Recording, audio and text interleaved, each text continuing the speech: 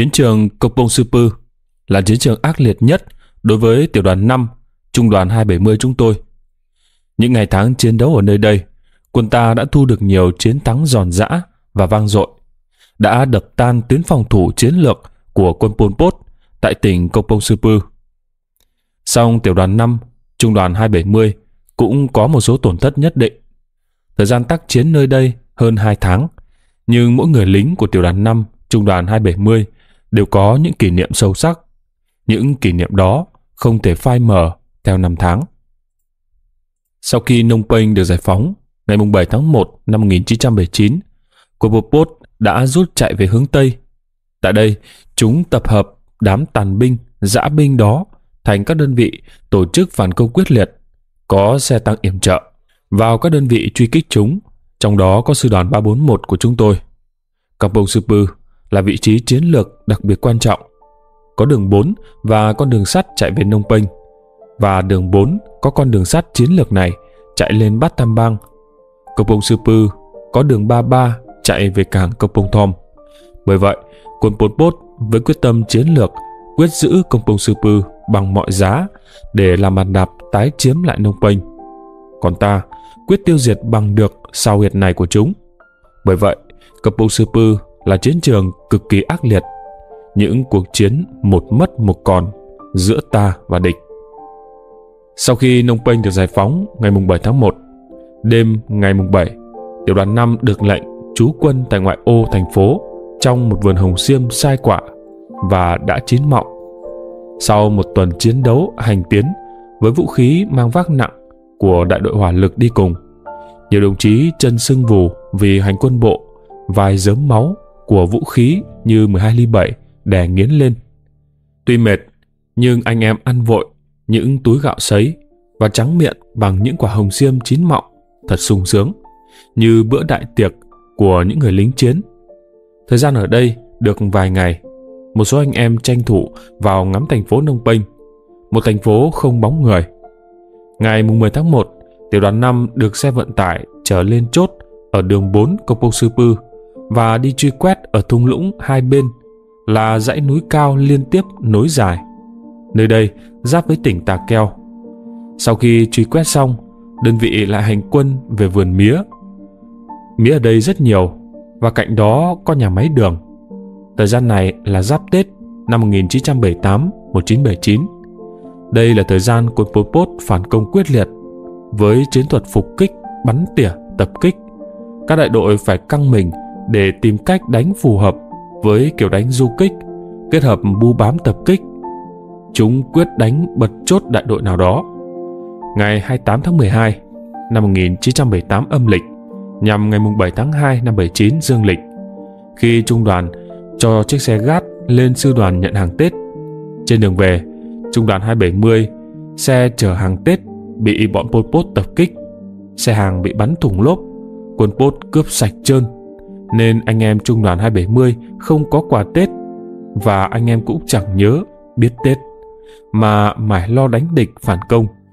Tại phía vườn mía, địch ở phía tây, cách vườn mía chừng 100 mét, nơi chốt của bê cối đại đội 8. Đến ngày 15 tháng 2 năm 1979, ta tấn công mãnh liệt, quân Pol Pot buộc chúng phải bỏ chạy. Tiểu đoàn 5 lên chốt ở phía đông hồ Hồ này rộng khoảng 3 hecta. Xung quanh nhiều cỏ và lau sậy. Giữa hồ có rất nhiều vịt trời và chim le le. Một hôm, thấy ở phía trước, nơi bọn Pol Pot chiếm đóng, đã nổ vang trời đủ các loại. Từ tiếng lẹt đẹt của AK, rồi những tiếng nổ lớn của đạn cối pháo các loại. Khói bốc lên nghỉ ngút, đứng xa hàng km vẫn thấy khói bụi. Anh em bảo kho đạn của bọn Pốt nổ Đêm ngày 25 tháng 2 năm 1979, tiểu đoàn 5 luồn sâu, gặp địch không thể đi được. Đồng chí Ngôn lệnh cho các đại đội lợi dụng đêm tối bò vào tiếp cận mục tiêu. Cán bộ chiến sĩ tiểu đoàn 5 như những chiến sĩ đặc công đã bò sát vào mục tiêu mà quân địch không hề biết. Đồng chí Ngôn lệnh đêm tối không được nổ súng, nằm chờ đến gần sáng. Khi nhìn rõ mặt người mới được tấn công. Trời vừa mở sáng, lệnh tấn công bắt đầu. Đạn các loại của thủy đoàn 5 đồng loạt nổ ở cự ly quá gần, chỉ cách 10-15 mét thôi. Đạn ta bắn quá rát, quân bốn bốt không dám ngóc đầu dậy. Anh em bò đến từng hầm, ném lựu đạn US xuống. Có hầm, tên bốt cúi đầu xuống hầm, khẩu AK hướng lên trời. Có đồng chí tay trái cầm chắc nòng súng địch, tay phải cầm quả US mỏ vịt đã tháo chốt, đang ngậm chặn ở miệng, ném xuống hầm. Sau một giờ chiến đấu vô cùng dũng cảm, cán bộ chiến sĩ tiểu đoàn 5, quân địch ở đây bị tiêu diệt hoàn toàn. Số sống sót bỏ chạy bị ta theo đuổi, bắn rát. Chúng chui vào ống cống cắt ngang đường. Một chiến sĩ đã bắn vào đấy một quả B-41, đám lính chết đen thui. Khi vào kiểm tra, có 18 lính Pol Pot bị chết cháy. Sau khi thu chiến lợi phẩm, tiểu đoàn 5 là hành quân truy quét từ đó đến chiều không gặp địch. 17 giờ, ngày 26 tháng 2, tiểu đoàn 5 gặp con mương nước. Nước ở đây khá trong. Đồng chí Ngôn cho đơn vị dừng chân để bộ đội ăn chiều. Anh em lấy gạo sấy ra pha nước ở mương, sau một lúc rồi đem ra ăn. Một bữa ăn ngon lành sau một đêm một ngày chiến đấu vất vả với một chiến công rực rỡ. 18 giờ, đơn vị tiếp tục hành quân. Đi được 2 km, tiểu đoàn 5 dừng chân đào công sự và ngủ qua đêm. Phần vì mệt, phần vì đất cứng, nên bộ đội chỉ đào sơ sài công sự cá nhân. Vì anh em nghĩ đơn giản, sáng ngày mai lại tiếp tục hành quân.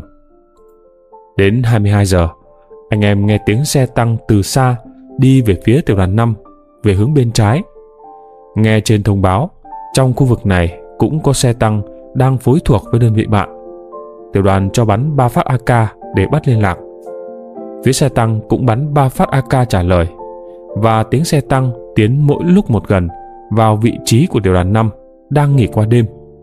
Lúc này, xe tăng cách tiểu đoàn bộ 150 m, cách bê cối C8 100 m. Đến đây thì xe tăng tắt máy. Lúc này trời tối như mực, không gian yên tĩnh lạ thường, như báo hiệu trước một trận chiến khốc liệt sẽ xảy ra. Đêm đó, cán bộ trung đội, đại đội bò đến từng hầm của chiến sĩ để nhắc nhở bộ đội canh phòng cẩn mật. Những tiếng thì thào nhắc nhở trong đêm thành vắng càng lằng tam thêm sự bí ẩn. Sự bí ẩn đến đáng sợ. Sáng dậy chưa rõ mặt người, cả hai bên đều phát hiện đêm qua ngủ chung trong một cánh rừng cây lúp xúp không phải là đồng minh, đồng phe gì cả. Đây là tiếng súng nổ loạn xạ của ta và địch. Địch bắn vào tiểu đoàn bộ đầu tiên, sau đó bắn vào bê cối 82 của C8. Tôi C trưởng C8 lệnh triển khai chiến đấu. Phú số 1 cối đang khóa nòng, địch bắn một loạt AK, thưởng số 5 bị trúng đạn vào hông, nằm lan ra. Phú nhòi người ra băng bó cho thượng và gọi vượng y tá ra xử lý vết thương cho thượng. Vượng ra gần tới khẩu cối, dính ngay viên đạn, ngã sấp xuống. Phú kêu to, vượng trúng đạn. Phú cùng thủy số 3 kéo thưởng và vượng vào góc khuất, có vật che đỡ.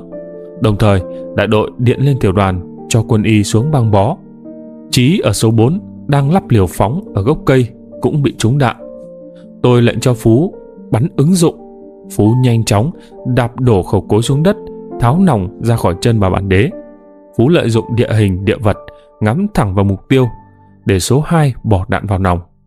Với những quả đạn nặng gần 4 kg, tốc độ bắn 20 phát trên phút đã bắn trúng vào đội hình của địch. Địch lúc này như ong vỡ tổ, bỏ chạy toán loạn. Đồng chí Ngôn tiểu đoàn trưởng tiểu đoàn 5 lệnh cho tiểu đoàn bộ cùng các đại đội bộ binh tổ chức phản công. Bộ đội ta đồng loạt xung phong, quân địch vỡ trận tháo chạy. Xe tăng địch cũng nổ máy chạy theo, đám lính áo đen còn sống sót. Đơn vị vừa làm xong công tác thương binh, tử sĩ và thu chiến lợi phẩm. Lại nghe tiếng xe tăng bên phải và phía sau tiến vào. Cả tiểu đoàn triển khai chiến đấu, bắn nhau khoảng 30 phút. Theo kinh nghiệm chiến trường và cũng được trên thông báo, đây là xe tăng của đơn vị bạn. Tiểu đoàn cho phất cờ. Đơn vị bạn đã nhận biết và không bắn nữa. Cũng may, tiểu đoàn 5 và đơn vị bạn không ai bị hề hấn gì. Hai bên gặp nhau thăm hỏi, tìm nhau đồng hương. Sau đó, đơn vị bạn chia tay. 15 giờ chiều, tiểu đoàn 5 dừng chân ở đường 33. bên kho thóc của bọn Pol Pot. Ở đây có cả máy xay sát. Chiến sự ở đây vẫn ác liệt. Ngày 2 tháng 3, đại đội 5 bị mất chốt trong trận này. Đồng chí Tân chính trị viên đại đội 5, người Sơn Hà, Hà Tĩnh hy sinh. Tiểu đội 12 đi 7 của đại đội 8 thương vong gần hết, trong đó có 4 đồng chí hy sinh, gồm đồng chí Năm cùng ba chiến sĩ, đồng chí Châu, Huy và đồng chí Cai. Sau khi chốt C5 bị mất, địch nống sâu vào trong rừng tre để chặn đường tiếp tế từ trung đoàn lên tiểu đoàn 5. Đoạn đường này có khoảng trống chừng 7-800 mét, là ruộng lúa đã gặt, chỉ còn trơ gốc.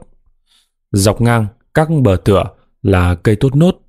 Tiểu đoàn 5 quyết tâm phải lấy lại bằng được chốt của đại đội 5 để thông đường tiếp tế từ trung đoàn bộ về tiểu đoàn 5. Sáng ngày 7 tháng 3 năm 79, lực lượng đánh chiếm lại chốt của đại đội 5 gồm tiểu đoàn bộ, đại đội 5 và một khẩu cối 82 ly của đại đội 8. Khẩu cối này do đồng chí Phú chỉ huy, nhưng chỉ vác nòng cối để bắn ứng dụng, và còn lại của A cối gánh thêm đạn và đem thêm vài khẩu AK. 6 giờ sáng ngày 7 tháng 3, khẩu đội cối 82 sau khi bắn quả thứ nhất để trình pháo, thấy đạn rơi đúng mục tiêu. Tôi lệnh cho đồng chí Phú bắn cấp thập. Sau bắn hết 50 quả đạn cối, tôi lệnh dừng bắn để bộ binh và tiểu đoàn bộ tổ chức tấn công. Sau khi quân Pol Pot thiệt hại nặng do đạn cối bắn trúng mục tiêu và chúng chưa kịp hoàn hồn, nay bộ binh xông lên như vũ bão, chúng chống cự yếu ớt và những tên còn sống sót bỏ chạy toán loạn. Ít ngày sau, địch chuyển hướng đào công sự gần những nơi có nước. Chúng phục ở đấy cả ngày lẫn đêm. Bộ đội đi lấy nước là chúng bắn tỉa. Đồng chí Toàn A trưởng cối bị chúng bắn tỉa rồi hy sinh. Sơn số một cối, người nghi lộc bị bắn xuyên phổi. Trong thời gian này, chiến sự vô cùng ác liệt. Có hôm, tiểu đoàn 8, trung đoàn 266 truy quét bên cánh trái của tiểu đoàn 5 có xe tăng đi cùng. Sau đó tiểu đoàn 5 tiếp tục đi truy quét về hướng Nam, gặp anh em trung đoàn 266 ở công pông som. Có lẽ tôi cần giới thiệu thêm về đồng chí Ngôn. Tiểu đoàn trưởng tiểu đoàn 5 Anh Ngôn nhập ngũ năm 1968, quê ở Nam Đàn, Nghệ An. Anh tốt nghiệp trường sĩ quan đặc công. Trước khi làm tiểu đoàn trưởng tiểu đoàn 5, anh là trưởng tiểu ban tác chiến trung đoàn 270. Anh người tầm thước khỏe mạnh. Anh có sải bước thật dài, giọng nói của anh to và rõ ràng. Anh rất thương lính và tốt bụng. Vì anh là dân trinh sát đặc công nên rất giỏi về bản đồ. Khi tác chiến ở Campuchia, do sử dụng bản đồ cũ, địa hình địa vật thay đổi nhiều nên rất khó xác định tọa độ điểm đứng. Nhưng với anh, việc đó không quá khó khăn. Anh không bao giờ mang súng bên hông, có cả bao đựng mà khẩu K59 của anh luôn luôn đút túi quần hoặc lận vào cặp quần. Bản đồ, địa bàn, bút chì màu đỏ, xanh, sơn dầu, anh cho vào túi mìn Claymore. Quần dài anh luôn sắn lên vài lần và cứ thế hành quân và chỉ huy chiến đấu. Tiểu đoàn 5 dưới sự chỉ huy của anh rất vững tâm và yên lòng, tin tưởng vào sự chỉ huy tài ba, dũng cảm và quyết đoán của anh. Như tôi đã viết, vị trí chốt của đại đội 5 vô cùng quan trọng, vì chốt của đại đội 5 bảo vệ tuyến đường tiếp tế đạn dược, lương thực thực phẩm cho tiểu đoàn 5. Nếu mất vị trí này, tiểu đoàn 5 sẽ không còn nạn để chiến đấu và bộ đội sẽ đói vì thiếu lương thực. Mà tiểu đoàn 5, bộ đội đã bị đói rồi, 4 năm ngày không có cơm ăn. Bộ đội đói lả đi, hòa mắt nhưng các anh bộ đội vẫn kiên cường chiến đấu, không rời bỏ chốt. Có đồng chí lượm nhặt cả cơm khô, cơm cháy của lính pốt, bỏ lại, đem về rửa sạch. Hết mốc, sau nấu lại để ăn. Rồi vào vườn mía do lính Pol Pot trồng, lấy cây ăn cho đỡ đói. Nhưng mía ăn chơi thôi. Còn khi đói, đói dài ngày, ăn vào ruột thêm cồn cào khó chịu. Anh em phải nhổ cả sắn hoang để ăn. Loại sắn này sượng lắm, ăn vào đắng và dễ bị say. Tóm lại, anh em tiểu đoàn 5 phải nhặt tất tật, kể cả rau cỏ hoang dại để ăn, để sống, để tiếp tục chiến đấu. Đấy cũng là kỹ năng sinh tồn của người lính chiến. Sau khi đại đội 5 mất chốt vào ngày 2 tháng 3, tiểu đoàn đã tổ chức đánh chiếm lại ngay. Ngày 17 tháng 3, quân Pol Pot tập kích. Lần này, đồng chí Huế cùng đồng chí Đào Đại Đức và một đồng chí nữa đã chiến đấu vô cùng dũng cảm. Chốt đại đội 5 không mất, nhưng đồng chí Huế đã anh dũng hy sinh. Cùng từ đây, quân Pol Pot không dám đánh vào chốt này nữa. Chúng chuyển sang kỹ thuật phục kích, bắn tỉa, cắt dây điện thoại kết nối từ tiểu đoàn xuống các đại đội, rồi nằm phục, chờ anh em hữu tuyến đi nối dây là chúng bắn ngay. Hoặc chúng đánh chiếm một phần nào đó của chốt của ta. Đặc biệt, địa bàn này, tiểu đoàn 5 chỉ có một khe nước nhỏ, chúng thường xuyên phục, bắn tỉa khi bộ đội ta xuống lấy nước. Có hôm, Sơn số 1, lính 78 quê Nghi Lộc, xuống lấy nước, bị bắn tỉa đạn xuyên phổi. Tôi tức giận, điên tiết, cầm khẩu AK quyết sống mái với bọn này. Anh em khuyên can, đại trưởng đừng xuống khe nước nữa, xuống đấy nó tỉa chết đấy. Bình tĩnh nghĩ lại anh em nói đúng, nếu không có sự can ngăn hôm đó, chắc tôi không còn sống để ngồi gõ bài ở đây nữa. Nơi đóng chốt của bê cối C8 ở dưới gốc cây cổ thụ. Từ đây lên tiểu đoàn bộ khoảng 200 mét. Nhà ban chỉ huy tiểu đoàn trong một ngôi nhà sàn tương đối lớn. Ở xung quanh có vài cây cổ thụ. Các đại đội bố trí xung quanh vòng tròn, xung quanh tiểu đoàn bộ, tiểu đoàn 5. Cối của đại đội 8 cũng phải đảm nhiệm một hướng về sau tiểu đoàn bộ. Ở đây không có khái niệm phía trước, phía sau, mà phía nào cũng có quân Pol Pot.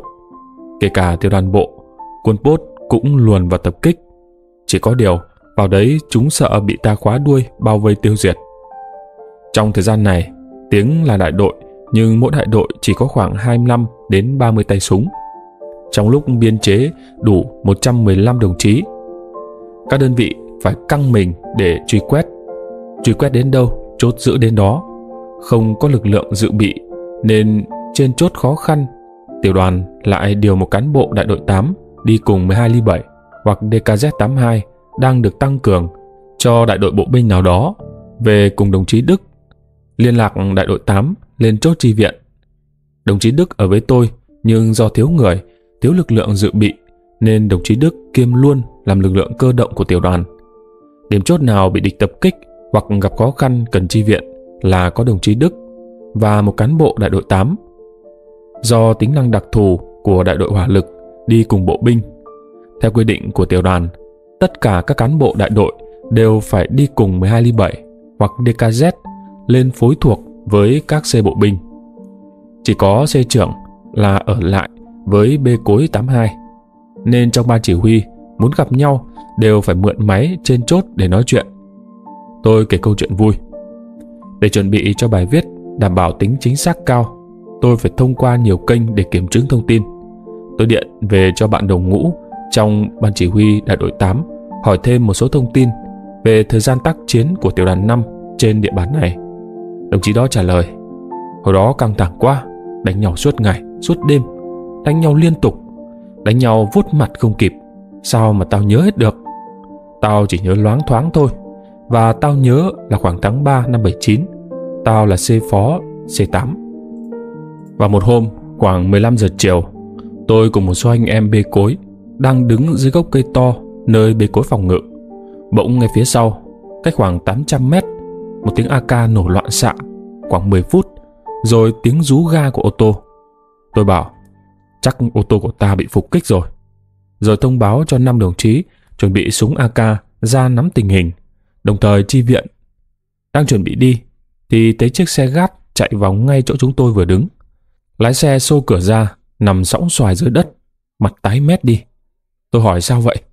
Lái xe thở gấp, nói đứt quãng, nói không liền mạch, chắc lái xe mệt lắm. Xem chở một tấn gạo cho tiểu đoàn 5 bị phục kích. Em cố gắng lái xe chở bằng được, bằng mọi giá, số gạo này cho anh em trên chốt. Đây, em lo cho anh em trên chốt không có gạo ăn, bị đói. Nếu không, em đã vứt xe, bỏ của chạy lấy người rồi. Tôi nhìn vào cánh cửa xe bị đạn bắn chi chít loang lộ và cả trên thùng xe nữa. Còn hai vành sau bị trúng đạn lốp lép xẹp, còn mỗi cái vành sắt trồi ra ngoài. Nhưng lái xe bất chấp đạn côn Pol Pot bắn như mưa, vẫn lái xe bằng hai vành sắt phía sau, với quyết tâm sắt đá không sợ hy sinh. Bằng mọi giá phải đem được gạo cho tiểu đoàn 5 ở trên chốt. Thật cảm động trước hành động dũng cảm, nghị lực phi thường của đồng chí lái xe trung đoàn 270. Có một hôm, tiểu đội 12 ly 7 của đại đội 8 tăng cường cho đại đội 6. Tiểu đội này nằm góc ngoài cùng của đại đội 6. Qua nhiều lần bắn, quân Pốt phát hiện được. Chúng quyết tâm tập kích vào vị trí này. Khẩu 12 ly 7 chỉ có một khẩu AK. Quân Pol Pot bò vào gần chốt mới nổ súng. Phía ta chỉ một khẩu AK đã đánh trả quyết liệt nhưng không được. A12 ly 7 buộc phải rút và không tháo kịp khẩu 12 ly 7. Khẩu súng này bị bọn Pot cướp mất. Thông tin 12 ly 7 ở chốt đại đội 6 bị mất súng được báo lên tiểu đoàn. Tiểu đoàn lệnh cho đồng chí Bính, đại đội phó đại đội 8, chỉ huy phải lấy bằng được lại khẩu súng này. Vì hết người, đồng chí Bính về chỗ tôi, đem thêm đồng chí Đức liên lạc đi cùng. Lên chốt đại đội 6, đến gần khẩu súng 12 ly 7. Hai đồng chí bò vào, với tinh thần bò vào càng gần càng tốt. Sau đó tập kích lấy lại súng. Khi cách địch 30 mét, chúng phát hiện bắn dữ dội, nhưng đồng chí Bính và đồng chí Đức vẫn bắn vào mục tiêu, đồng thời bắn hỗ trợ cho nhau và các đồng chí đã lợi dụng địa hình địa vật vẫn áp sát mục tiêu, bắn rất rát về phía địch. Lúc này, hoảng quá, ba bốn thằng pốt bỏ súng AK quay sang bắn 12 ly 7. Nhưng 12 ly 7 lính tơ bắn sao được. Chúng vừa kéo được vài chàng, súng giật mạnh về phía sau, đạn bay lên trời. Đồng thời thằng bắn lăn cảnh ra. Thằng thứ hai và thứ tư hăng hái tranh giành nhau để bắn. Chúng vừa bắn được vài loạt bị hóc. Súng 12 ly 7 thường hay bị hóc và xạ thủ mới xử lý nhanh trong trường hợp này. Lúc này, bọn chúng ở đây thực sự bối rối và hoảng loạn. Nhanh như chớp, hai đồng chí Bính và Đức bắn chết tại chỗ bốn thằng pốt đang ngồi bên cạnh khẩu 12 ly 7. Đồng thời nhảy vào công sự giành lấy khẩu 12 ly 7. Đồng chí Đức bắn dữ dội vào những tên xung quanh đó. Số sống sót còn lại bỏ chạy. Đồng chí Bính xử lý rất nhanh. Súng bị hóc vì đồng chí Bính là B trưởng 12 ly 7 mới được đề đạt lên đại đội phó đại đội 8. Sau đó đồng chí Bính quay súng bắn vào quân địch đang tháo chạy. Rất dũng cảm và rất ngoan cường. Đồng chí Bính và đồng chí Đức mưu trí linh hoạt. Chỉ hai đồng chí thôi, giữa ban ngày, các đồng chí đã lợi dụng địa hình địa vật, hỗ trợ cho nhau, đánh bại trên 15 tên pốt, tiêu diệt nhiều tên, thu lại khẩu 12 ly 7 mà quân Pol Pot cướp trước đó. Tiểu đoàn 5 được trung đoàn 270 tăng cường khẩu khối 120 ly, bố trí sau đại đội 8 khoảng cuối tháng 3 năm 79. Vào lúc 15 giờ chiều, xe tăng địch cùng khoảng 13 đến 15 tên đã tập kích trận địa cối 120 ly. Cối 120 bắn ứng dụng, nhưng địch vào quá gần nên không bắn được.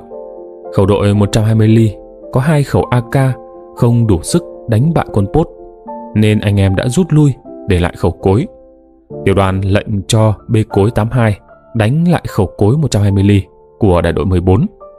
Lần này, vẫn đồng chí Bính và đồng chí Đức với sự hỗ trợ chi viện đắc lực của B cối 82. Hai đồng chí đã anh dũng, mưu trí tiếp cận mục tiêu bất ngờ rồi nổ súng với cách đánh gần nở hoa trong lòng địch. Làm chúng bị bất ngờ, hoảng loạn, bỏ chạy toán loạn. Ta thu về lại khẩu cối một cách an toàn. Đồng chí Bính, đại đội phó đại đội 8, lính năm 1974, quê Cẩm Xuyên Hà Tĩnh. Đồng chí Bính người thấp đậm, khỏe mạnh, chiến đấu rất dũng cảm. Trước đây, đồng chí Bính là B trưởng 12 ly 7, sau lên đại đội phó đại đội 8. Đồng chí Năm lên thay B trưởng.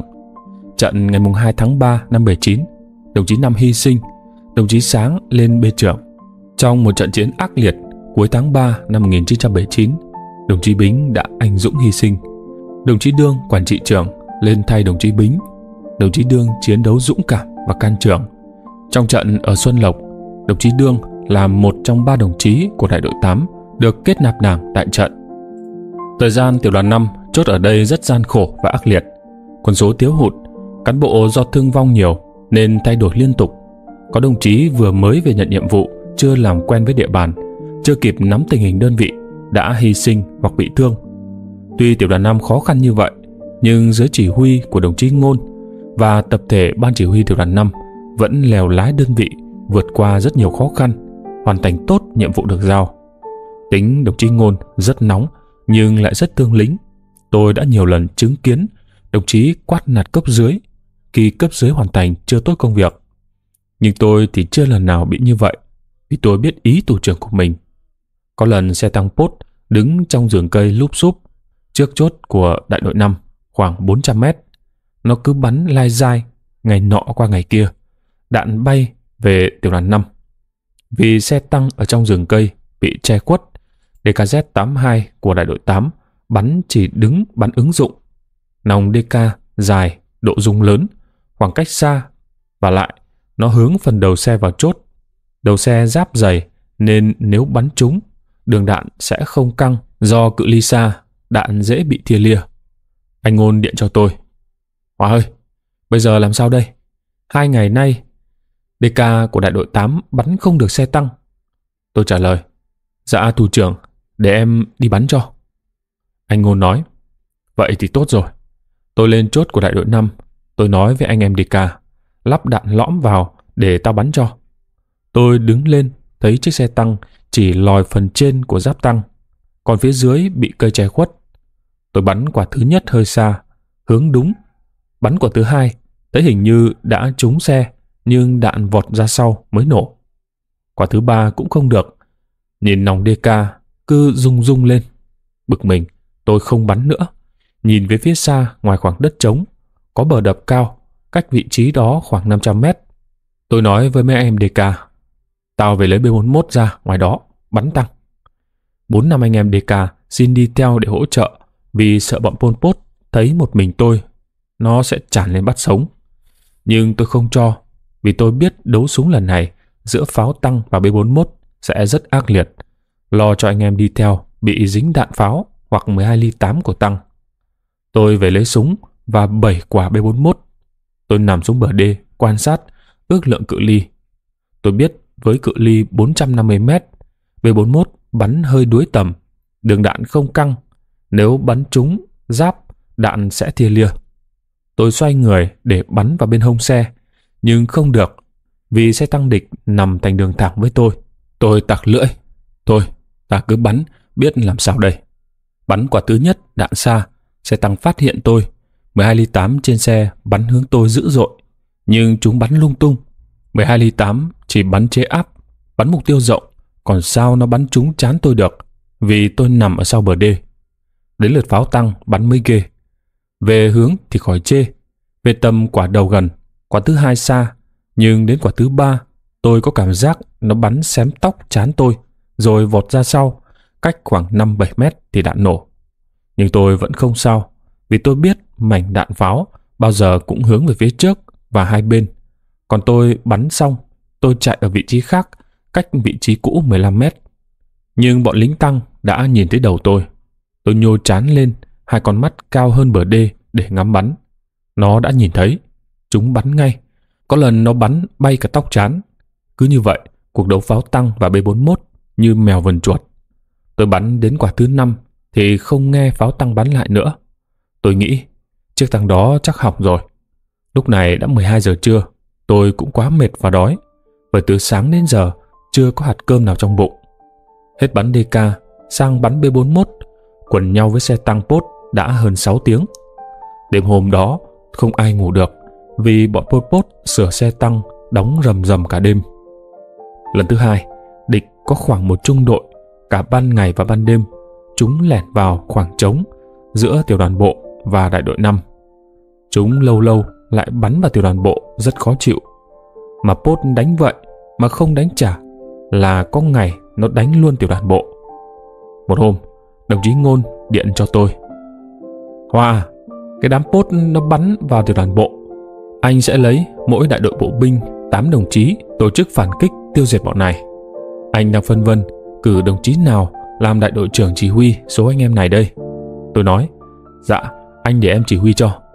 Đồng chí Ngôn nhất trí ngay. Sáng mai, lúc 6 giờ sáng, quân số đầy đủ trước tiểu đoàn bộ. Tôi dặn dò và phổ biến ý đồ tác chiến của tôi. Tôi bảo, Bây giờ biết Pốt ở đâu, mà vô giường lùng sục là dính mìn và bị phục kích đấy. Bởi vậy, tất cả anh em cứ lợi dụng địa vật nằm dọc bờ làng, ém kỹ quân không được lộ lực lượng. Cho ba đứa cứ nhằm vào các ngọn cây lúp xúp mà bắn. Bắn từng tràng năm sáu viên, bắn loạn xạ lên. Bọn Pốt nghĩ lính tơ là tân binh. Lúc đó chúng sẽ tràn ra bắt sống, để chúng ra giữa khoảng trống cách ta 50 mét. Khi đó mới được đồng loạt nổ súng. Khi địch biết bị lừa bỏ chạy, lúc đó ta mới xung phong truy kích. Diễn biến trận đánh như tôi dự kiến. Có 10 tên Pốt chết tại chỗ, số sống sót chạy hút vào rừng. Cũng từ đây, bọn Pốt không dám bén mảng đến khu vực này nữa. Sau hai trận trên, đồng chí Lê Hải Anh, trung đoàn trưởng, điều về ban chỉ huy tiểu đoàn 5 cho gọi tôi lên để động viên. Trước khi về, đồng chí trung đoàn trưởng nói vui với tôi. Có máu làm quan thì phải có gan làm lính, rồi cười. Có hôm đồng chí Ngôn tiểu đoàn trưởng lên trung đoàn họp, có xe gát chở đồng chí Ngôn, kết hợp chở hàng về cho tiểu đoàn 5 luôn. Khi xe vào gần chốt của đại đội 5, chiếc gát bị Pol Pot phục kích. Trên xe chỉ có đồng chí Ngôn và lái xe. Vũ khí chỉ có một khẩu AK của đồng chí lái xe và khẩu K59 của đồng chí Ngôn. Bởi vậy, hai đồng chí không thể đánh trả được bọn Pốt. Bọn Pốt hò nhau bắt sống. May đồng chí Ngôn nhanh chân chạy vọt vào chốt của đại đội 5. Đồng chí Mục, chính trị viên đại đội 8, hôm đó được tăng cường cho đại đội 5. Nghe tiếng súng phía sau, chạy ra gặp ngay đồng chí Ngôn. Đồng chí Ngôn hớt hải, luống cuống nói. Xe tao bị phục kích. Mày dẫn đại đội 5 ra ngay đường tìm bằng được cái bản đồ tao rơi mất rồi. Ra đến nơi, hàng trên xe, bọn Pốt đã lấy hết. Thấy anh em đại đội 5 ra, lính Pốt bỏ chạy. May đồng chí Mục tìm được tấm bản đồ tác chiến của điều đoàn trưởng. Cũng trong thời gian này, đồng chí Ngôn bị thương, đồng chí Học lên quyền tiểu đoàn trưởng tiểu đoàn 5. Sau hơn 2 tháng chiến đấu nơi đây, Cặp ông Sư Pư từ đường 4 đến đường 33. Đường 33 là giáp Hà Tiên, với địa bàn truy quét rất rộng, với biết bao gian khổ, nhọc nhằn, thậm chí có lúc đói khát và hy sinh. Nhưng cán bộ chiến sĩ tiểu đoàn 5 vẫn đoàn kết một lòng, vượt qua muôn trùng khó khăn, đã hoàn thành xuất sắc nhiệm vụ. Đầu tháng 4 năm 1979, tiểu đoàn 5 lại hành quân về Nông Penh, lên tàu Há Mồm, theo dòng Tông Lê Sáp, vượt thượng nguồn về biển Hồ và đường 5 Công Pông Trừ Năng, một chiến trường mới. Trận đánh ngày 23 tháng 12 năm 1977 của Trung đoàn 270. Lâu nay, tôi vẫn chăn trở muốn viết về trận đánh đầu tiên cấp trung đoàn ở Hà Tiên. Một trận đánh mở đầu với thắng lợi rực rỡ. Một trận đánh đã làm nức lòng cán bộ, chiến sĩ Trung đoàn 270 và cả nhân dân Hà Tiên. Và tôi biết vẫn còn sơ đồ gốc trận đánh này. Rất may và rất kịp thời, đồng đội Lê Đình Quế, nguyên chính trị viên đại đội 3 tiểu đoàn 4 đã gửi sơ đồ vào cho tôi. Với tư cách người viết bài này, tôi trân trọng cảm ơn anh Quế thật nhiều. Qua sơ đồ trận đánh, giúp chúng ta có góc nhìn cụ thể hơn, trực quan và sinh động hơn về trận đánh. Chỉ tiếc rằng, sơ đồ chỉ thể hiện các mũi, các hướng của tiểu đoàn 5, còn tiểu đoàn 4 không thể hiện ở sơ đồ này. Sau ngày miền Nam giải phóng chưa được bao lâu, bè lũ Pol Pot Insari đã điên cuồng xua quân đánh chiếm vùng biên giới Tây Nam của Tổ quốc, giết hại đồng bào ta rất dã man. Tiếng súng đã nổ vang trên bầu trời biên giới. Một lần nữa, chúng tôi lại cầm súng lên đường bảo vệ Tổ quốc thân yêu. Tất cả những ước mơ hoài bão của những người lính trẻ sau ngày đất nước hòa bình phải tạm gác lại. Tạm biệt Sài Gòn, tạm biệt các má, các em và những người thân yêu. Hẹn ngày chiến thắng sẽ gặp lại. Đầu đó lại vang lên bài hát Chia tay trong đêm Sài Gòn. Thật xúc động, với tâm trạng thật khó tả giữa người ở lại và người lính cầm súng lên đường bảo vệ biên giới Tây Nam. Điều đặc biệt hơn nữa, Trung đoàn 270 chúng tôi tạm xa sư đoàn 341 được tăng cường cho quân khu 9 để bảo vệ biên giới Hà Tiên. Sư đoàn 341 như người mẹ hiền, nơi đã rèn rũa, tôi luyện chúng tôi trong huấn luyện, xây dựng và trưởng thành trong chiến đấu. Nơi đây, chúng tôi được thử tách qua lửa đạn. Từ trận đánh đầu tiên, trận đồi tràn, đến 12 ngày đêm chiến đấu ở Xuân Lộc, Long Khánh. Và vinh dự được tham gia chiến dịch Hồ Chí Minh, có mặt tại Sài Gòn vào ngày 30 tháng 4 năm 1975 lịch sử. Vậy tạm chia tay lần này với sư đoàn 341. Anh em chúng tôi, trung đoàn 270, không khỏi bồi hồi và xúc động. Cuối tháng 7 năm 1977, tiểu đoàn 5 được giao phòng ngự tuyến biên giới ở Đầm Trích bên bờ kênh Vĩnh Tế. Phía sau là nông trường cờ đỏ. Khoảng giữa tháng 12 năm 77, tiểu đoàn 5 được điều về Hà Tiên về với đội hình của trung đoàn 270, tiểu đoàn 4 và tiểu đoàn 6 về Hà Tiên từ cuối tháng 7 năm 77, thay cho một đơn vị của quân khu 9. Khi về đây, những vết tích của cuộc chiến rất ác liệt ở vùng biên giới này vẫn còn đó. Đó là chiếc xe thiết giáp của đơn vị bạn bị quân Pol Pot bắn cháy ở con đường nhỏ giữa hai ngọn núi Địa Tạng và Thị Vạng phía trước hang Thạch Động khoảng 200 mét. Trong thời gian này, tiểu đoàn 4 chốt giữ ở những chốt tiền tiêu có vị trí quan trọng, có ý nghĩa về chiến thuật như các điểm cao, núi đá dựng, địa tạng, hang thạch động. Còn các đại đội trực thuộc ở thị xã Hà Tiên bảo vệ trung đoàn bộ. Tiểu đoàn 6 chủ yếu chốt ở cửa khẩu Xà Xía, ấp Việt Nam, ấp Bà Lý. Trong thời gian này, địch chủ yếu tập kích vào các chốt của ta ở cấp trung đội, đại đội. Chúng đánh mang tính chất vừa thăm dò lực lượng và cách đánh của trung đoàn 270, đơn vị chủ lực đã có nhiều kinh nghiệm trong trận mạc. Ban đêm, vài thằng pốt nằm ngoài rừng giả tiếng mèo kêu. Mục đích của chúng là làm cho quân ta mất ăn, mất ngủ. Trung đoàn trưởng, trung đoàn Nguyễn Thế Vân, chính ủy Nguyễn Hữu Tín cùng tập thể ban chỉ huy và cơ quan tham mưu của trung đoàn 270 xác định A ngộ của quân Pol Pot thường xuyên đánh phá, quấy rối dọc biên giới Hà Tiên. Địa điểm chính là núi Lục Sơn. Nơi đây chúng tập kết hậu cần và các phương tiện kỹ thuật, điểm dừng chân của Pol Pot trước khi chúng đánh vào biên giới. Vậy nên muốn đập tan ý đồ của chúng, chúng ta cần đánh một trận cấp trung đoàn vào núi Lục Sơn. Sau khi thống nhất về chủ trương, trung đoàn đã tung đại đội 20 trinh sát bò sâu vào nội địa của địch để nắm tình hình, kiểm đếm từng ụ súng giao thông hào phòng ngự của chúng. Qua đó, ban chỉ huy trung đoàn biết được địch ở đây gồm một tiểu đoàn tăng cường, chia thành 3 tuyến phòng thủ.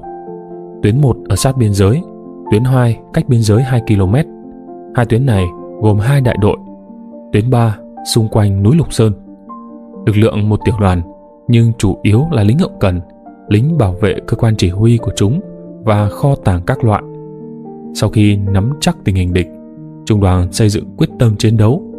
Trung đoàn nhận định nếu sử dụng hai tiểu đoàn 4 và 5 đánh một tiểu đoàn tăng cường hai đại đội của địch phòng ngự vững chắc là không phù hợp. Vì nguyên tắc đánh địch trong phòng ngự vững chắc phải 3 đánh 1.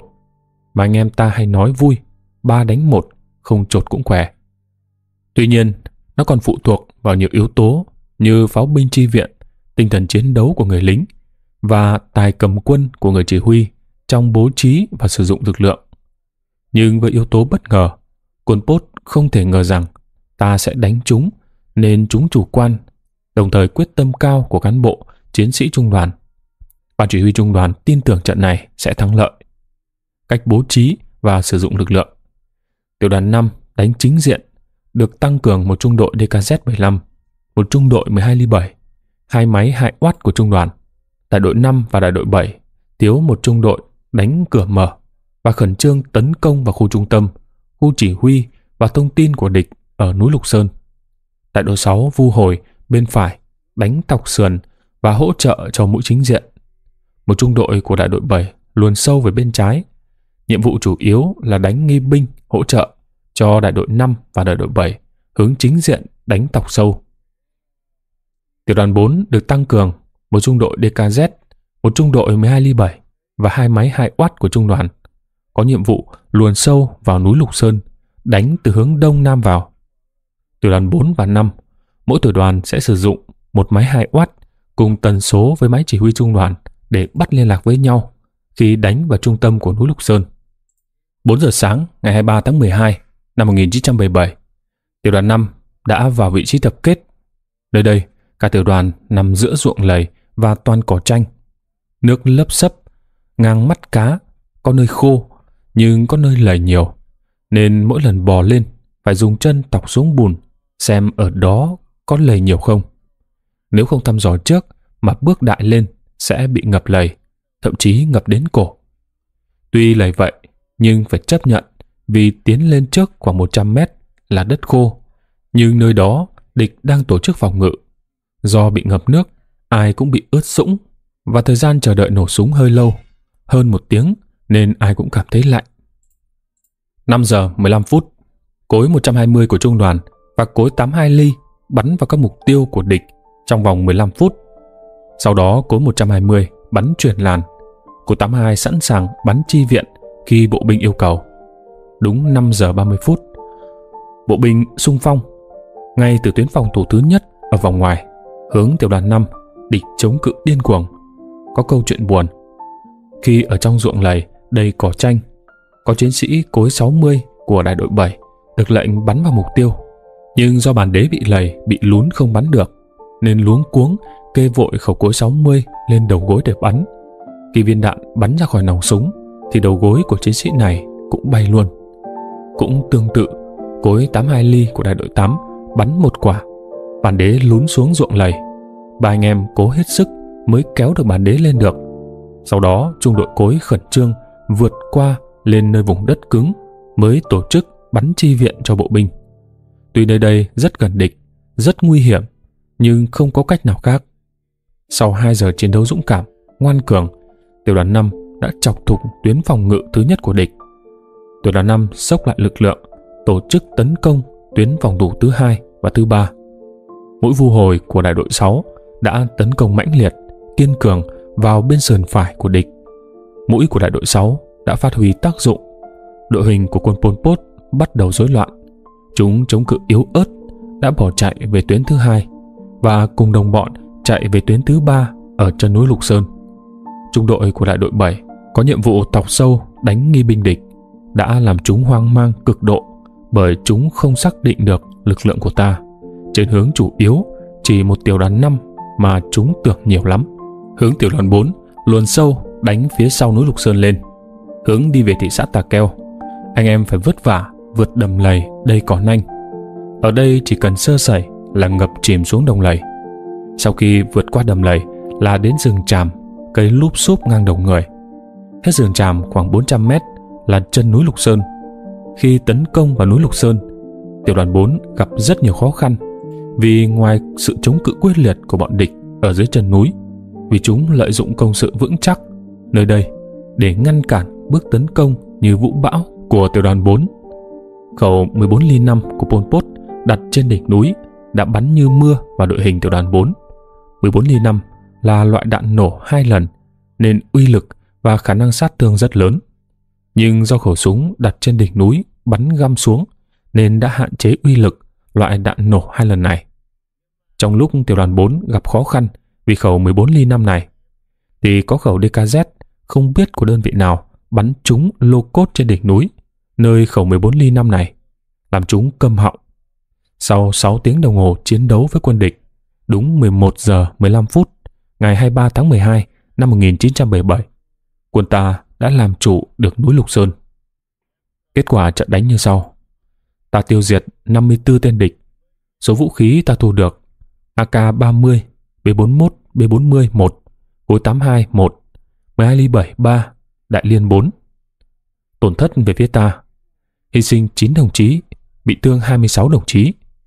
Có được kết quả trên là do cán bộ chiến sĩ tiểu đoàn 4 và tiểu đoàn 5 đã chiến đấu dũng cảm, ngoan cường, không sợ hy sinh dưới sự chỉ huy của trung đoàn trưởng Nguyễn Thế Vân, chính ủy Nguyễn Hồng Tín, đơn vị đã hoàn thành xuất sắc nhiệm vụ.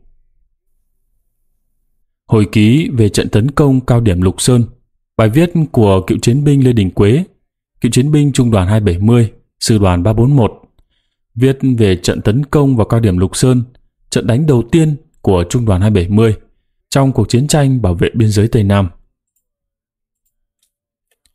Tháng 8 năm 1977, khi cả sư đoàn 341 đang làm công tác niêm cất vũ khí, chuẩn bị sang làm dầu khí, thì tình hình biên giới Tây Nam rất căng thẳng, nên trung đoàn 270 được cấp tốc điều xuống tăng cường cho quân khu 9.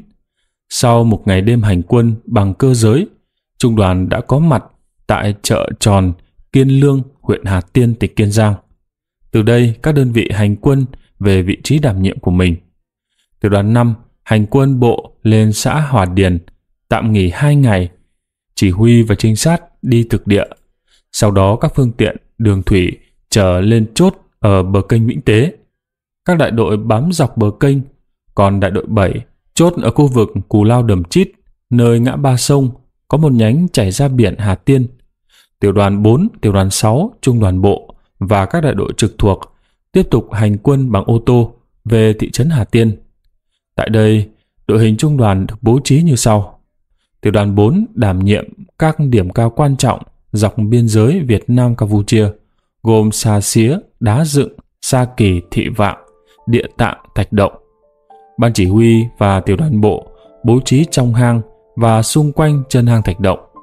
Tiểu đoàn 6 đảm nhiệm khu vực từ quãng giữa Thạch Động và đồi Bà Lý, rồi toàn bộ khu vực bờ biển từ đồi Bà Lý dọc theo ấp Việt Nam đến pháo đài.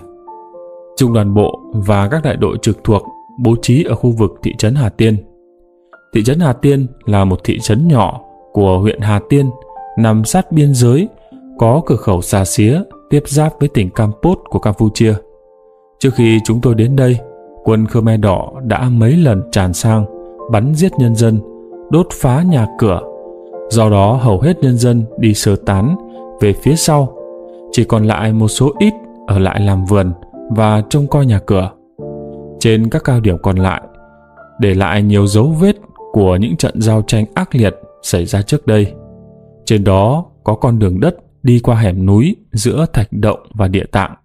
Còn có một chiếc xe thiết giáp M113 của quân khu 9 bị bắn cháy trong một trận phản kích quân Khmer Đỏ vào đầu năm 1977.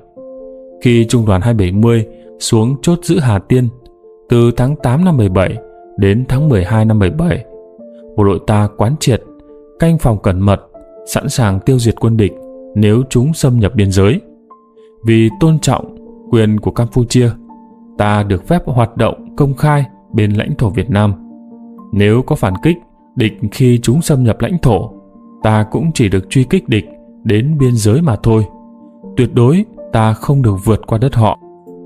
Thời gian này, bộ đội ta rất cảnh giác, canh gác nghiêm ngặt cả ngày lẫn đêm, kết hợp với các bãi mìn quân khu 9 cài trước đó, không lần nào địch có thể lọt qua biên giới mà không bị phát hiện. Thỉnh thoảng ta tiêu diệt một vài tên khi chúng mới xâm nhập biên giới hoặc chúng bị vướng mìn.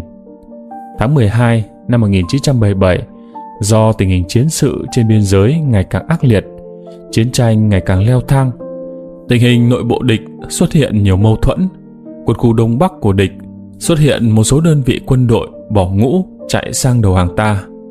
Để giành thế chủ động trên chiến trường, ta bắt đầu thay đổi chiến thuật phòng ngự thụ động sang phòng ngự tích cực, cho phép các đơn vị trong điều kiện cần thiết có thể truy kích địch qua lãnh thổ Campuchia để tiêu diệt chúng hoặc có thể chủ động tấn công những căn cứ của đối phương nơi chúng tập trung lực lượng chuẩn bị tấn công ta dạy cho chúng bài học đập tan ý chí xâm lược của chúng từng bước đưa chiến tranh sang đất địch để đảm bảo an toàn cho đồng bào ta dọc biên giới đồng thời tạo điều kiện cho lực lượng chống Pol Pot nổi dậy, cùng với các đơn vị trên toàn mặt trận. Trung đoàn 270 được quân khu 9 giao nhiệm vụ nghiên cứu tiêu diệt đơn vị địch đồn trú tại điểm cao Lục Sơn, thuộc tỉnh Campos, Campuchia. Cao điểm là một dãy núi độc lập nổi lên giữa một vùng đồng bằng ven biển. Chiều dài khoảng 2 km, chiều rộng chưa đến 1 km. Nó có một đỉnh cao nhất khoảng 70 mét so với mực nước biển ở giữa. Hai đầu có hai mỏm thấp hơn.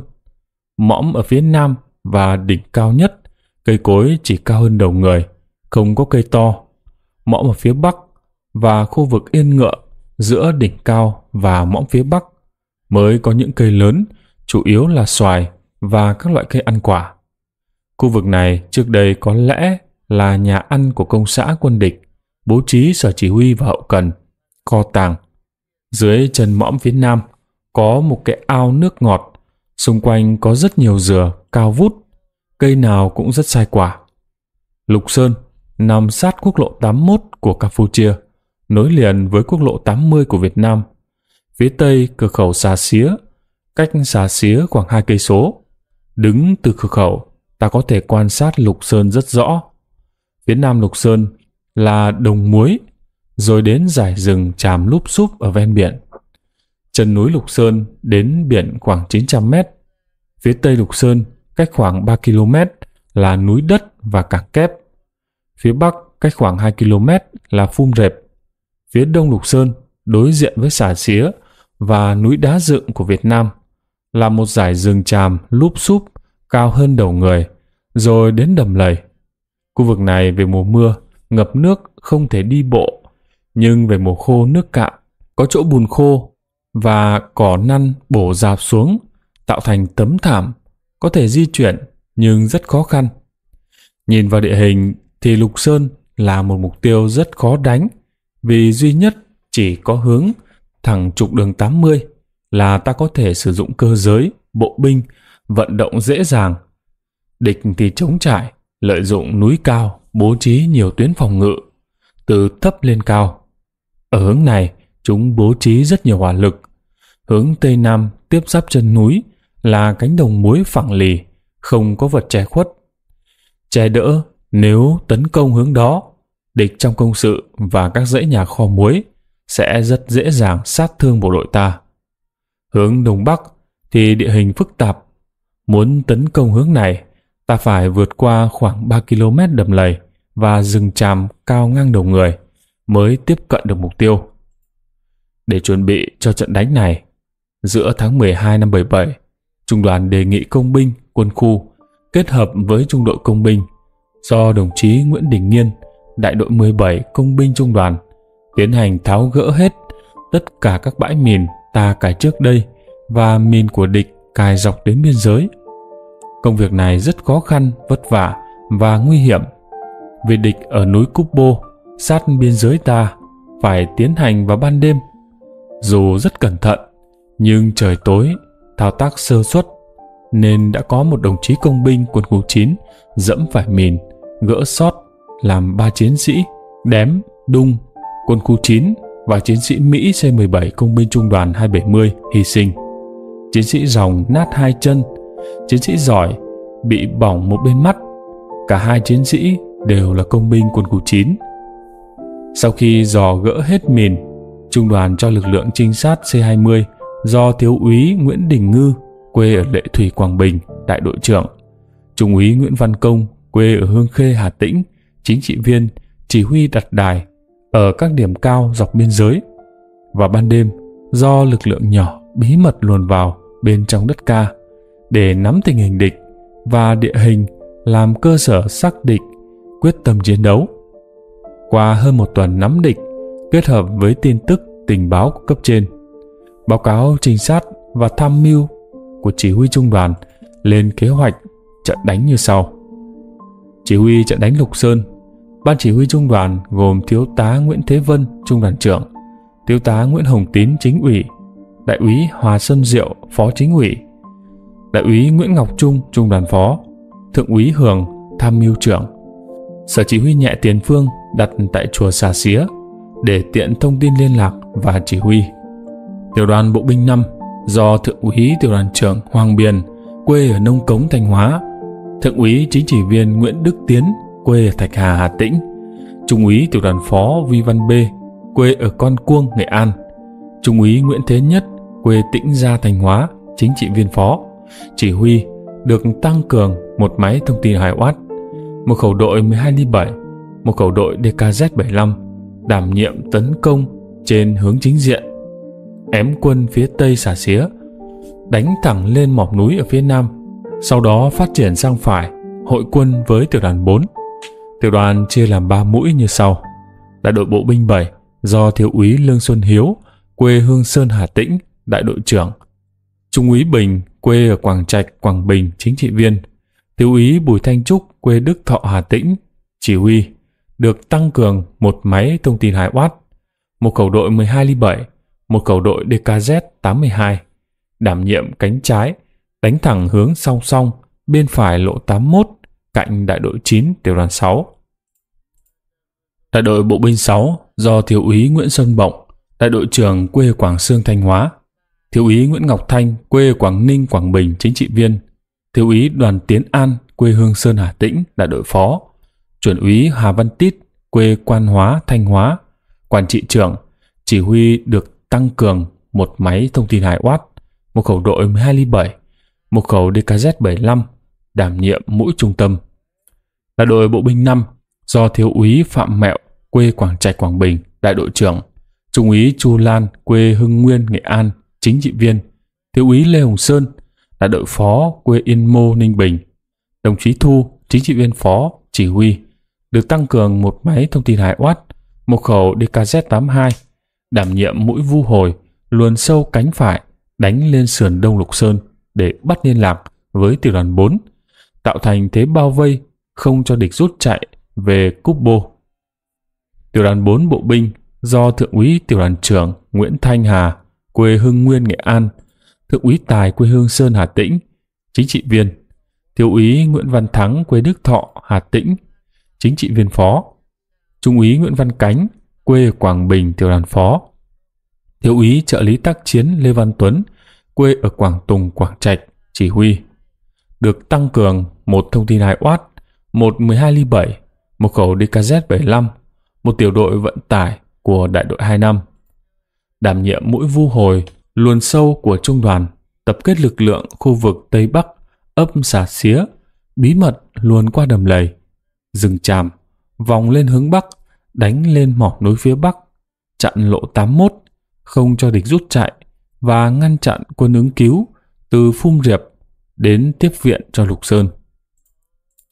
Trong giai đoạn hành quân chiếm lĩnh vị trí xuất phát, tấn công, đội hình thành hàng dọc. Đi đầu là tổ trinh sát của trung đoàn, tiếp đến đại đội bộ binh, một do thiếu úy Lưu Minh Xếu, đại đội trưởng, thiếu úy Nguyễn Minh Chuyên, quê Yên Thành, Nghệ An, chính trị viên, chính trị viên Phó Sơn chỉ huy. Tiếp theo là đại đội hình của đại đội 3 do thiếu úy Trần Quang Nếp, quê Hải Phòng, đại đội trưởng, thiếu úy Tiến, tức Tiến Xoăn, quê hương Nguyên, Nghệ An, chính trị viên, thiếu úy Lê Đình Quế, quê hương Sơn Hà Tĩnh, chính trị viên phó. Trần Thuận, thiếu úy đại đội phó. Nguyễn Văn Nam, quê Nam Thái, Nam Đàn, quản trị trưởng. Sau đại đội 3 là đội đội 2 do thiếu úy Nguyễn Văn Hải, đại đội trưởng, thiếu úy Phạm Song, quê Diễn Châu, chính trị viên. Cuối đội hình là đại đội 4 do trung úy đại đội trưởng Thự, chỉ huy và bộ phận vận tải. Tiểu đoàn bộ binh 6 do Thượng úy Cao làm tiểu đoàn trưởng, Thượng úy Bùi Văn Hoa, quê Quảng Dương Thanh Hóa, chính trị viên. Trung úy Nguyễn Khắc Chín, quê ở Đô Lương, tiểu đoàn phó, được bố trí làm lực lượng dự bị cho trung đoàn. Tiểu đoàn 6 dâng đội hình lên khu rừng tràm, bên trái, phía trước chùa Xà Xía, sẵn sàng được tung vào trận khi có yêu cầu. Riêng đại đội bộ binh 9 do đồng chí Lê Đăng Tụ, thiếu úy đại đội trưởng, chỉ huy được tăng cường một khẩu DKZ-75 của đại đội 15 do chính trị viên Phạm Hồng Sơn, quê ở Hưng Nguyên, Nghệ An, trực tiếp đi cùng, được giao nhiệm vụ phối hợp với tiểu đoàn 5 đánh thắng theo hướng lộ 81 về hướng Tây, sau đó phát triển theo sườn Tây Lục Sơn, khép kín vòng vây. Không quân địch có thể rút chạy về hướng cả kép. Về hỏa lực, cấp trên trung đoàn hỗ trợ hỏa lực bởi một trận địa pháo 155 ở núi Tô Châu và trận địa 105 ở chân núi Tà Peng, phía trên ấp pháo đài.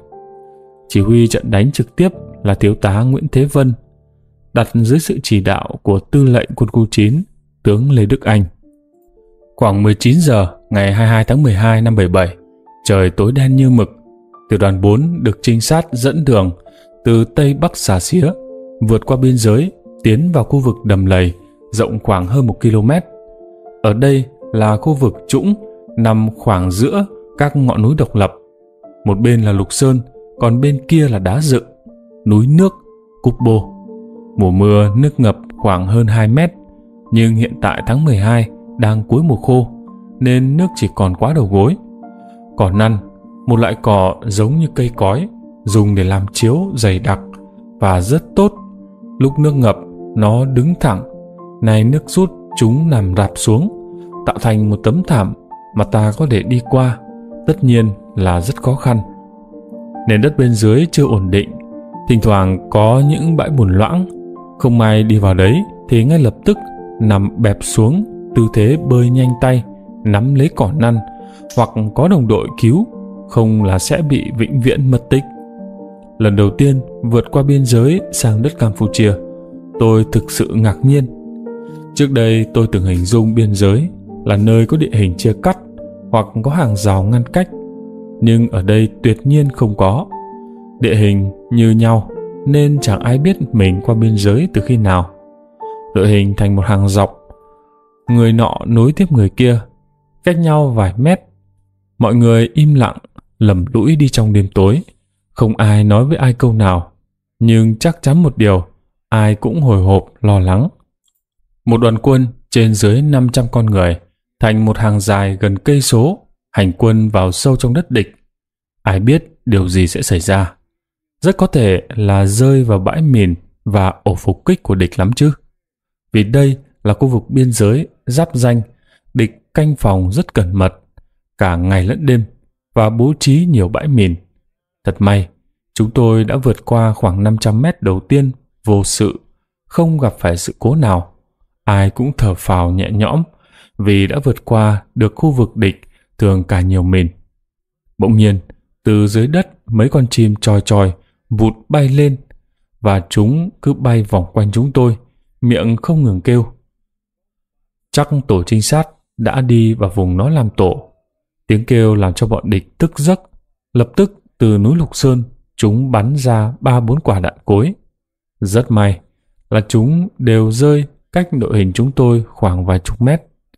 Với địa hình bùn lầy này, nó không làm ai bị thương.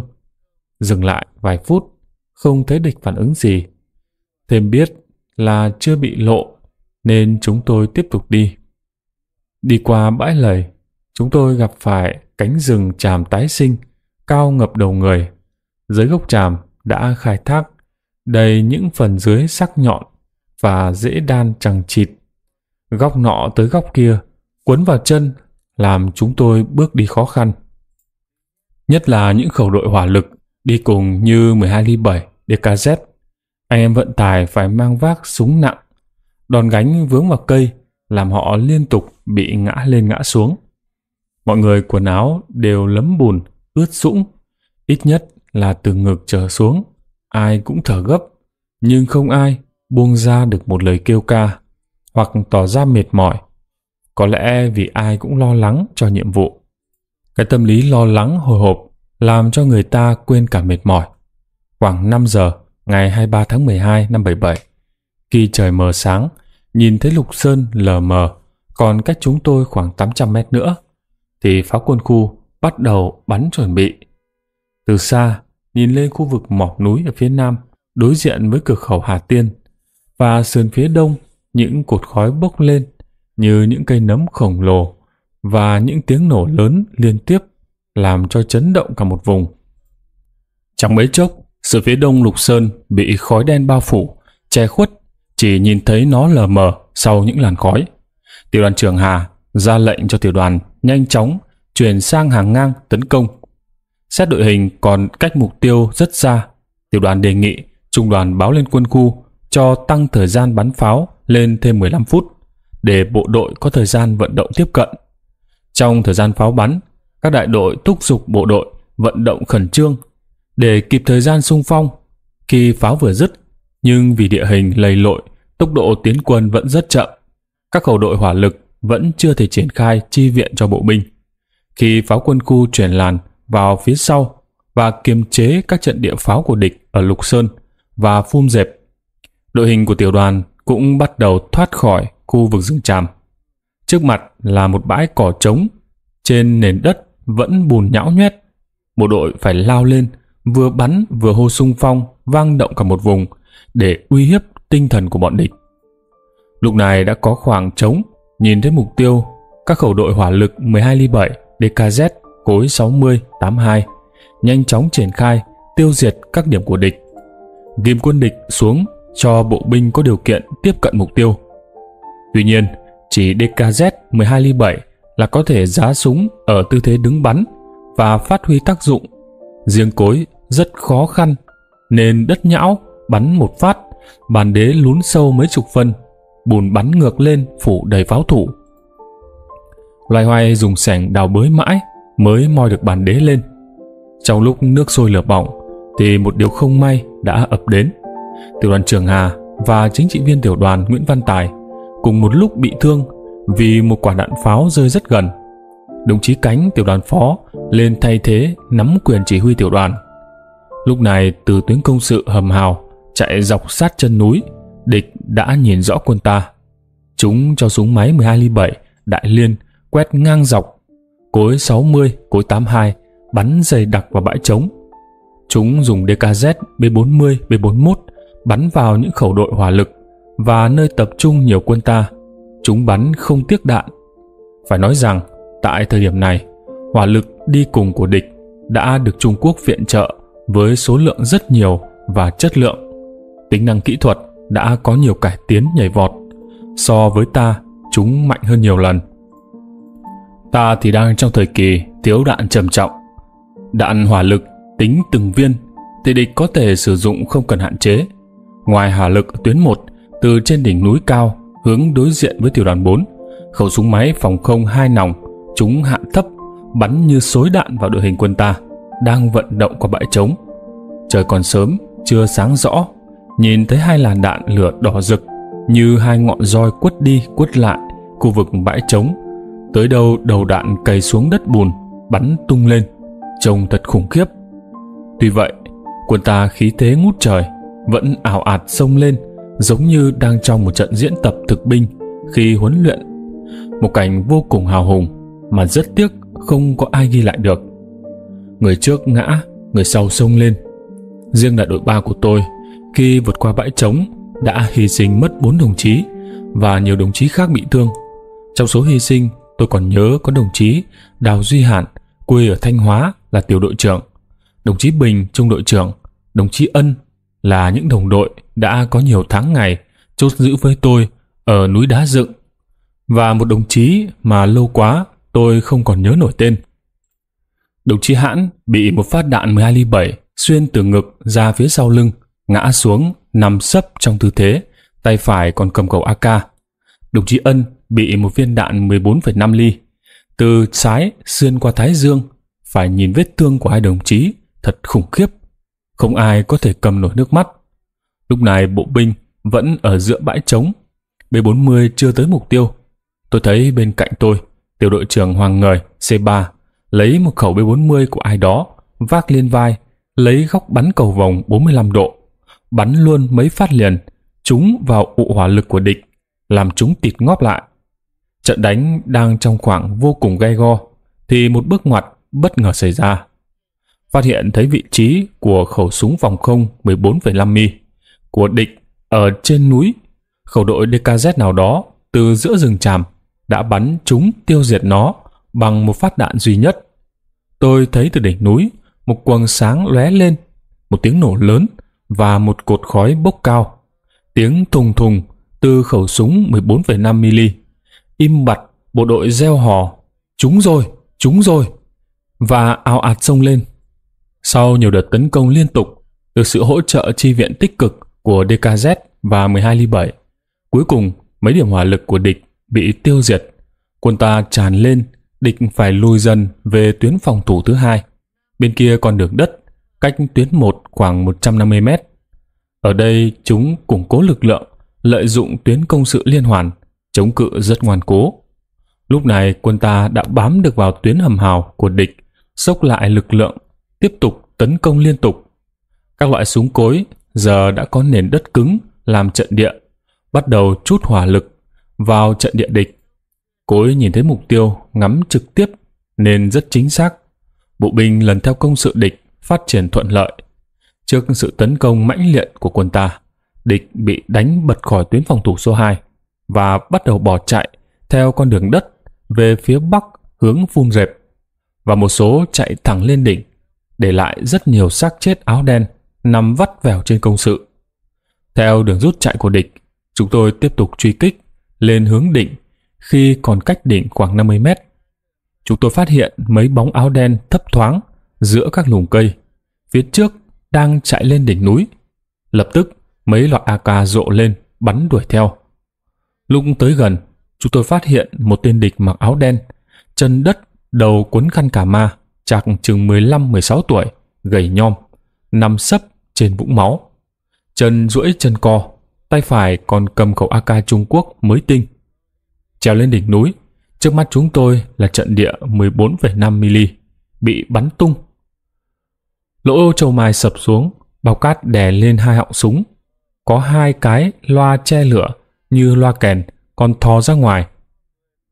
Dưới nền công sự, một đống vô số vỏ đạn ngập bàn chân.